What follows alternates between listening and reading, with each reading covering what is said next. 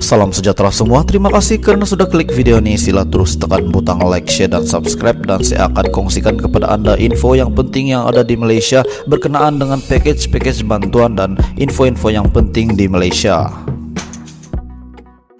Salam sejahtera seluruh warga Malaysia. Salam sejahtera tuan-tuan dan puan-puan. Berita hari ini daripada kenyataan daripada bekas Perdana Menteri Najib Razak.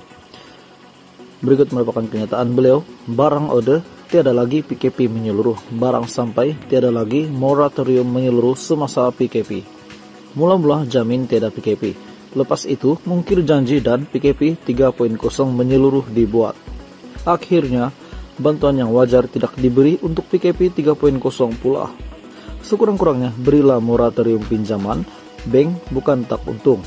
Malah ada bank yang catat rekod keuntungan tertinggi dalam sejarah suku lepas Mei 11, 2021, Public Bank post record quarterly profit in 1Q.